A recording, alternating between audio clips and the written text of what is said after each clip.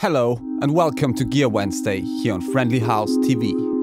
My name is Michael, and in this episode, I will introduce you to some pretty new and exciting tones from a Swedish company called Elektron.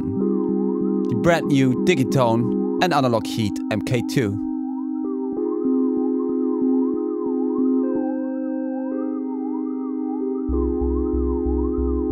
The Digitone is an FM synthesizer which does not exactly remind us of its godfather version of a FM synthesis, the Yamaha DX7. Physically, obviously, slightly smaller, and also in terms of sound spectrum, definitely more colorful.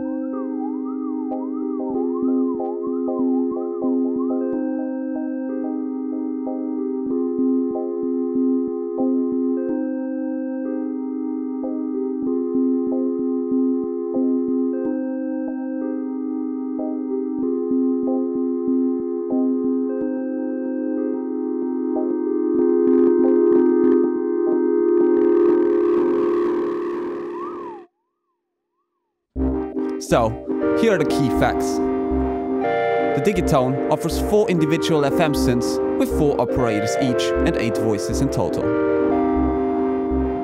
Instead of trying to reproduce a usually kind of complicated FM synth structure, the Digitone offers eight algorithms, as they call it, which basically means that they have operation modulations pre-patched.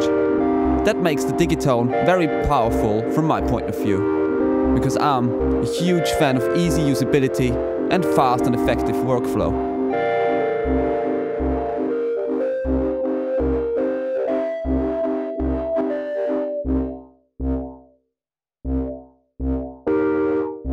So, after that FM stage, the Digitone offers a kind of traditional, subtractive synth structure. After a tone in one of those four synth tracks was generated, you will find a multimode filter, a digital drive each, and a base width filter.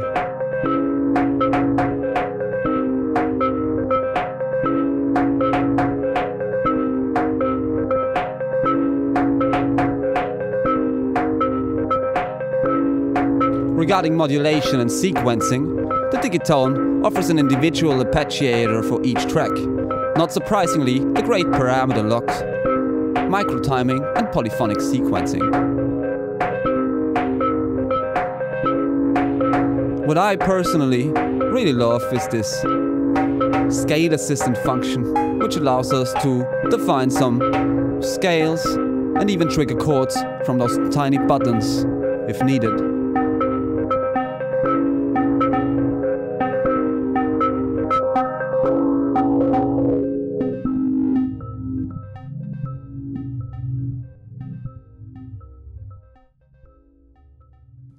Generally, there are three main sound effects built into the Digitone.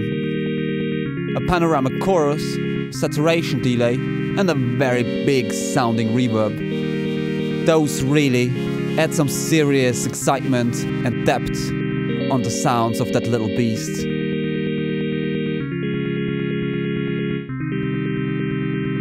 I really like the fact that all the sounds coming out of the Digitone are kind of trippy and could be psychedelic, dancey, pumpy, or whatever. Almost all kinds of sound directions are available.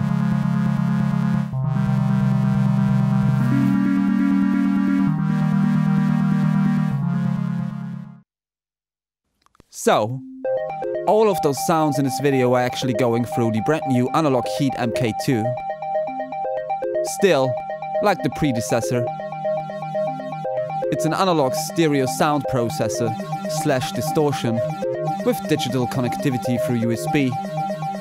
It's supposed to be overbridge enabled, but it's not. Not yet.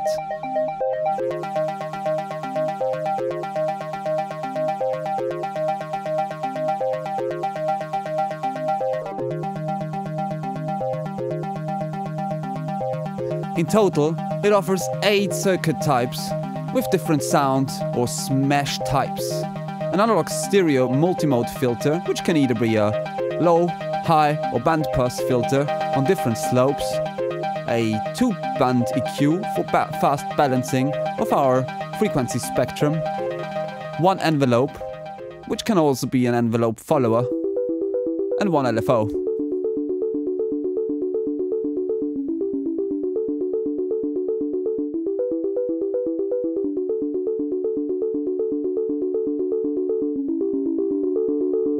Going through all those eight circuit types, I did find some interesting sound colors. But I have to be honest again. For those who already the old version, there would seriously not be any reason to upgrade from that one. There is not much of a difference regarding the sound. Plus, I also sometimes found it very difficult to keep the effects stable. Again, in terms of usability. Maybe it's me, maybe not.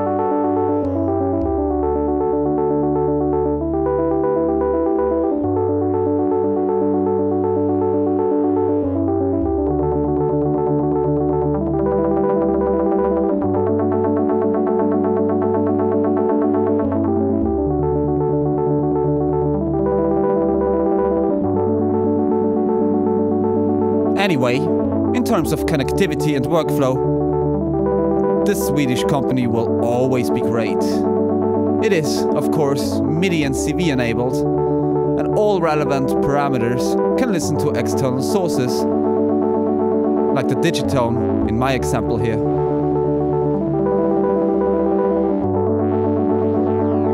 Overall, Elektron doesn't seem to stop the development, and they're constantly accelerating we do love that. Thank you, Elektron.